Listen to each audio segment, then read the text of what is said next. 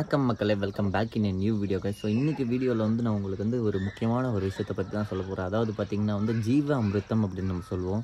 So ஜீவ அமிர்தம்னா என்னன்னு தெரியாதவங்களுக்கு வந்து இது ஒரு பயோ ஆர்கானிக் ஃபெர்டிலைசர் அப்படின்னு சொல்லலாம். ஸோ மண் வளத்தை அதிகப்படுத்தக்கூடிய ஒரு ஆர் ஆர்கானிக்காக நம்ம செஞ்சுக்கக்கூடிய ஒரு விஷயம். ஸோ இது எந்த பொருட்கள் வச்சு செய்கிறது அதுக்கப்புறம் இது இது எப்படி பயன்படுத்துறது? அப்படின்றது வந்து நம்ம விஷயம் இது வந்து தெரிஞ்சுக்க போகிறோம் இந்த வீடியோவில் இந்த ஜீவ அமிர்தத்தை வந்து செய்கிறதுக்கு வந்து நம்மளுக்கு தேவையான பொருட்கள் பார்த்திங்கன்னா சாணம் கோமியம் வெல்லம். ஸோ இந்த மூன்று விஷயங்கள் தான் வந்து ஒரு முக்கியமான வந்து த்ரீ எலமெண்ட்ஸ் ஸோ இது இருந்தாலே போதும். நீங்கள் வந்து மோஸ்ட் ப்ரிஃபரபிள் பார்த்தீங்கன்னா வந்து நாட்டு மாட்டு சாணம் நாட்டு மாட்டு கோமியம் அதுக்கப்புறம் வந்து வெல்லம். ஸோ நீங்கள் கோமியம் வந்து ஒரே நாள் அவ்வளோ கிடைக்கலன்னா கொஞ்சம் கொஞ்சமாக சேர்த்து வச்சுக்கலாம். ஸோ உங்ககிட்ட நாட்டு மாடு இல்லைன்னும் போது நீங்கள் நார்மல் மாட்டில் கூட செய்யலாம். ஸோ இந்த ஜீவ அமிர்தத்தோட மெயின் ப்ராசஸ் என்னன்னு பார்த்தீங்கன்னா மைக்ரோ பாக்டீரியா அதாவது நம்ம கோமியத்தில் இருக்கிற சின்ன சின்ன நுண்ணுயிர்கள் வந்து பல மடங்கு பெருக்கிறதுக்காக ஃபர்மெண்டேஷன்ன்ற ஒரு ப்ராசஸை தான் நம்ம இதில் பண்ண போகிறோம் அதாவது நம்ம வந்து சாணம் வந்து ஒரு மீடியம் மீடியமாக வச்சு ஸோ அதில் வந்து கோமியத்தை நம்ம ஊற்றி அதில் வந்து வெள்ளத்தை நம்ம கொடுக்கும்போது அதில் இருக்க நுண்ணுயிர்கள் வந்து பல கோடி லட்சத்தில் இருக்க நுண்ணுயிர்கள் பல கோடியாக மாறும். ஸோ இதனால் வந்து நம்ம இதை வந்து நிலத்துக்கு கொடுக்கும்போது ஸோ நம்ம வந்து கடையில் யூஸ் பண்ணுற அந்த ஆர்டிஃபிஷியல் உரங்கள் ஊர் யூரியா ஸோ இந்த பூச்சிக்கொல்லி மருந்துகள்லாம் நிறைய யூஸ் பண்ணி மண்ணோட வளத்தை வந்து கம்ப்ளீட்டாக நம்ம அழிச்சிட்டோம். அதனால வந்து பார்த்திங்கன்னா வந்து இப்போ வந்து மண்ணில் வந்து எதுவுமே இல்லை. ஒரு செடி வளர்றதுக்காக நீங்கள் செடியை வந்து நல்லாக்கணும் அப்படின்னு தேவையில்ல. இந்த செடியோட மண் வளத்தை நீங்கள் இன்க்ரீஸ் பண்ணிட்டீங்கனாலே போதும். ஸோ செடியோட மண் வளத்தை இன்க்ரீஸ் பண்ணணும்னா நீங்கள் வந்து பார்த்திங்கன்னா அங்கே இருக்க நுண்ணுயிர்களை வந்து நம்ம வாழ வச்சிட்டோம்னா அந்த நுண்ணுயிர்கள் வாழ்ந்து அங்கே வந்து அந்த மண்ணை வந்து வளமாக்கிட்டு இப்போ அங்கே நம்ம ஜீவாமிருத்தத்தை கொடுக்கும்போது அந்த ஸ்மெல்லுக்காக பத்தடி பதினஞ்சு அடி கீழே இருக்கிற மண்புழுக்கள் கூட மேலே வந்து நம்ம அந்த மண்ணை சாப்பிட்டு ஸோ அதை டைஜஸ்ட் பண்ணி ஸோ அங்கே வந்து மண்ணோட வளத்தை பெருக்குது. ஸோ அதனால் செடிகளும் நல்லா வருது. ஸோ இதுதான் ஒரு பேசிக்கான ஒரு ஐடியா நீங்கள் ஞாபகம் வச்சுக்க வேண்டியது. ஸோ இப்போ நம்ம ஜீவாமிரதத்தை எப்படி செய்கிறதுன்றதை பார்த்துடலாம். ஸோ முதலாவதாக பார்த்திங்கன்னா வந்து ஒரு நூறு லிட்டர் டேங்க் இருந்தால் சரி அப்படி இல்லைனா வந்து சின்ன டேங்க்கு ஸோ இது வந்து ஃபைவ் ஹண்ட்ரட் லிட்டர்ஸ் டேங்க்கு நம்ம ஸோ ஒரு முதல்ல ஒரு நூறு லிட்டர் டேங்க் வந்து நம்மளுக்கு க கண்டா கண்டிப்பாக தேவைப்படும். ஸோ இந்த நூறு லிட்டர் டேங்க் பார்த்திங்கன்னா வந்து இப்போ நம்ம வந்து இது ஓப்பன் பண்ணி நான் காட்ட போகிறேன் நான் ஜீவாமிருத்தம் இதில் செஞ்சு வச்சுருக்கேன். ஸோ அதாவது பார்த்திங்கன்னா ஸோ இதுதான் அந்த ஜீவ அமிர்தம் ஸோ இதை பார்த்திங்கன்னா வந்து ஒரு குச்சி வச்சு நம்ம கலக்க போகிறோம் ஸோ இந்த குச்சி பார்த்திங்கன்னா எப்போவுமே வந்து க்ளீனாக வாஷ்டாக இருக்கணும். ஸோ நீங்கள் யூஸ் பண்ணுறதுக்கு முன்னாடி யூஸ் பண்ணதுக்கப்புறமாவும் இதை வாஷ் பண்ணி எடுத்துக்கணும்.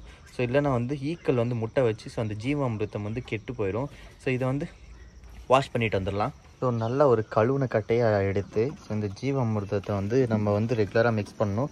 ஸோ இதை செய்கிறதுக்கு முதல்ல பார்த்தீங்கன்னா வந்து எப்போ இந்த ஜீவ அமிர்தம் வந்து யூஸ் பண்ணலாம் அப்படின்னு பார்த்தீங்கன்னா ஸோ இந்த மாதிரி வந்து பிளாக்கை மேலே ஆடை கட்ட ஆரம்பிச்சிருச்சுன்னா மூணு நாள் கழித்து நம்ம வந்து இந்த ஜீவாமிரத்தை யூஸ் பண்ணிக்கலாம். ஸோ இது எப்படி நம்ம வந்து அளவெடுத்து சகோ நம்ம வந்து என்ன மெஷர்மெண்ட்டில் வந்து சாணம் போடுறது கோமியம் போடுறதுன்னு கேட்டிங்கன்னா வந்து ஸோ இந்த இந்த ஒரு பெரிய ட்ரம்முக்கு வந்து பார்த்திங்கன்னா வந்து இதை நீட்டாக கழுவி எடுத்துகிட்டு ஒரு பிளாஸ்டிக் ட்ரம்மாக தான் இருக்கணும். ஸோ வேறு மாதிரி இரும்பு ட்ரம் இருக்கக்கூடாது. இரும்பு ட்ரம் இருந்தால் அது வந்து நுண்ணுயிர்களை அழிச்சிடும் ஸோ இந்த மாதிரி பிளாஸ்டிக் ட்ரம்மில் ஒரு கூட சாணி அப்புறமா வந்து ஒரு குடம் மூத்திரம் அதாவது கோமூத்திரம்னு சொல்லுவாங்க. ஸோ நம்ம மாட்டுலேருந்து கிடைக்கிற அந்த கோமூத்திரத்தை எடுத்துகிட்டு வந்து ஊற்றி ஒரு கிலோ வெல்லம் போட்டுட்டு நல்லா மிக்ஸ் பண்ணி அதுக்கப்புறம் அந்த சாணத்தில் இருக்கிற அந்த புல் இருக்கும்ல சாப்பிட்டு டைஜஸ்ட் ஆகாமல் இருக்க புல்லை வந்து எடுத்துட்டு வெறும் வந்து சாணம் மட்டும்தான் இருக்கணும். அதுக்கப்புறம் அதை வந்து ஒரு ஒரு நிமிஷத்துக்கு இப்படியும் அதுக்கப்புறம் ஒரு நிமிஷத்துக்கு இந்த பக்கமும் நீங்கள் வந்து காலையில் சாயந்தரம் மிக்ஸ் பண்ணி அதாவது திருப்பி விட்டுட்டே இருந்தோம்னா மூணு நாளில் நம்மளுக்கு வந்து ஜீவ அமிர்தம் ரெடி ஆகிடும் ஸோ இந்த ஜீவ அமிர்தத்தை பார்த்திங்கன்னா வந்து நம்ம வந்து எப்படி யூஸ் பண்ண போகிறோம் அப்படின்றத இந்த வீடியோவில் நான் உங்களுக்கு சொல்கிறேன் ஸோ இந்த ஜீவ அமிர்தத்தை கம்ப்ளீட்லி நிழல் இருக்கிற இடமா பார்த்து தான் வைக்கணும். ஸோ வெயில் படக்கூடாது. ஸோ நிழலில் வந்து வச்சுக்கணும். ஏன்னா வெயில் பட்டால் வந்து நுண்ணுயிர்கள் வந்து இறந்துடும். ஸோ நுண்ணுயிர்களை பாதுகாக்கிறது ஒரு முக்கியமான வேலையாக இருக்கும். ஸோ அதுக்கப்புறம் இந்த மாதிரி கலக்கி நீட்டாக விட்டுட்டோம்னாலே போதும் ரெண்டு வாட்டி. ஸோ இது எப்படி யூஸ் பண்ணணும்னு பார்த்தீங்கன்னா வந்து சரி பார்த்தீங்கன்னா இந்த மாதிரி ஒரு பக்கெட்டில் வந்து முக்கால்வாசி தண்ணி பிடிச்சிக்கோங்க. அதுக்கப்புறம் வந்து இந்த ஜீவாமிர்தத்தை ஒரு ஜெக் இதில் மிக்ஸ் பண்ணிக்கோங்க.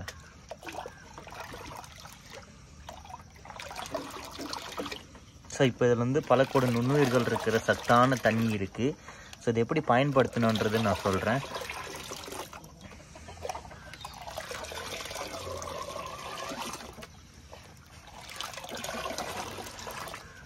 ஸோ ஸோ முதலாவதாக பார்த்தீங்கன்னா வந்து இந்த ஜீவாமிர்தத்தை வந்து நம்ம இஷ்டத்துக்கு வந்து பயன்படுத்திடக்கூடாது ஸோ இதுக்குன்னு ஒரு அளவு இருக்குது அதாவது பார்த்தீங்கன்னா வந்து ஒன் இஸ் டு டென்னுவாங்க ஒரு லிட்டர் ஜீவாமிருதத்தை எடுத்துக்கிட்டிங்கன்னா நீங்கள் அதுக்கு பத்து மடங்கு தண்ணி ஆட் பண்ணி தான் வந்து யூஸ் பண்ணணும்.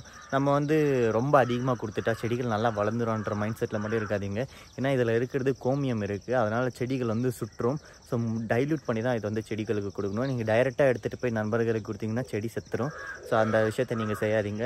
ஸோ வந்து நீங்கள் கம்ப்ளீட்டாக ஒரு ஆர்கானிக் ஃபார்மிங் பண்ணணும். இல்லை எனக்கு வந்து பத்து ஏக்கர் நிலம் இருக்குது ஸோ என்னால் கையில் எடுத்துகிட்டு போய் கொடுக்க முடியாதவன்றவங்களுக்கு ஒரு சூப்பரான ஆப்ஷன் என்னன்னு பார்த்தீங்கன்னா வந்து சொட்டு நீர் பாசனம்.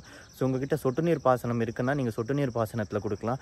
அப்படி இல்லைன்னா பார்த்தீங்கன்னா வந்து உங்ககிட்ட வந்து வாய்க்காலில் வந்து நீங்கள் வந்து தண்ணியில் வந்து மிக்ஸ் பண்ணி கொடுக்கணும். அப்படி இல்லைன்னா நீங்கள் ஒரு ஈஸியான வே பார்த்தீங்கன்னா சொட்டு நீர் பாசனம் தான். ஸோ ஸ்ப்ரிங்க்லர் இருந்தாலும் அதுலேயும் கொடுக்கலாம். ஆனால் வந்து அடைப்புகள் ஏற்படும். சொட்டு நீர் பாசனத்தில் நீங்கள் ஃபில்டர் பண்ணிவிட்டு அதுக்கப்புறம் சொட்டு நீர் பாசனத்தில் கொடுத்தீங்கன்னா வந்து ரொம்ப நல்ல எஃபெக்டிவான ரிசல்ட்ஸ் இருக்கும் அப்படின்னு நிறைய பேர் யூஸ் பண்ணவங்க எனக்கு சொல்லியிருக்காங்க. அதனால் நீங்கள் ட்ரை பண்ணி பாருங்கள் ஸோ நீங்கள் வீட்டில் இருக்கிறவங்க வந்து ஒரு சின்ன சின்ன ஒரு பக்கெட்டில் கூட ஜீவாமிர்தத்தை செஞ்சுக்கலாம். ஸோ நீங்கள் அந்த அளவில் செஞ்சு தான் உங்கள் மாடி தோட்டத்துக்கு கூட நீங்கள் கொடுக்கலாம். ஸோ அந்த அளவுக்கு இயற்கை உரங்கள் இருக்குது ஸோ நீங்கள் யூரியா யூஸ் பண்ணு பொட்டாசியம் யூஸ் பண்ணு நைட்ரஜன் யூஸ் பண்ணலாம் தேவையே இல்லை. ஸோ நம்ம கொடுக்க வேண்டியதை பக்காவாக நம்ம வந்து பூமிக்கு கொடுத்துட்டோம்னா அது செய்ய வேண்டிய வேலைகளை கரெக்டாக செய்யும். நீங்கள் டைரெக்டாக நைட்ரோஜனையோ இல்லை யூரியாவையோ வந்து ஃபீட் பண்ணும்போது செடியோட க்ரோத் வந்து ரொம்ப நல்லா இருக்கும். பட் வந்து அது வந்து ரொம்ப தீங்கு விளைவிக்கக்கூடியது நம்மளுக்கும் ஆகட்டும் அந்த நிலத்துக்கும் ஆகட்டும். அதில் வாழ்கிற முக்கியமான நுண்ணுயிர் நுண்ணுயிர்களுக்கு ரொம்ப தீங்கு விளைவிக்கும். ஸோ அதை தடுக்கிறதுக்காக தான் வந்து நம்ம இயற்கை வேளாண்மைக்கு திருப்பி திரும்பணும் அப்படின்ட்டு சொல்லிகிட்ருக்கோம் இருக்கோம் ஸோ நான் ஒரு நம்மாழ்வாரோட வந்து ஃபேனுன்னு சொல்ல சொல்ல முடியாது. நான் ஒரு அவரோட விஷயங்கள் நான் நிறைய விஷயத்த கேட்டு வந்து நான் ஃபாலோ பண்ணிகிட்ருக்கேன் ஸோ அதுக்காக வந்து உங்களுக்கு இந்த வீடியோ பிடிச்சதுன்னு மறக்காமல் ஒரு தம்ஸ் அப் கொடுத்து நீங்கள் யாராச்சும் ஜீவாமிர்தம் ட்ரை பண்ணிங்கன்னா மறக்காமல் ட்ரை பண்ணிட்டு வந்து கமெண்ட் செக்ஷனில் சொல்லுங்கள் ஸோ சி இந்த next video until signing up HK so அதுக்கு முன்னாடி எப்படி ஜீவாமிர்தத்தை நான் தெளிக்கிறேன்றது பார்த்துக்கோங்க. ஜீவாமிர்தத்தை ஸோ இது என்னோடய டிராகன் பழம். ஸோ இதில் வந்து நான் கொஞ்சமாக வந்து மேலோட்டமாக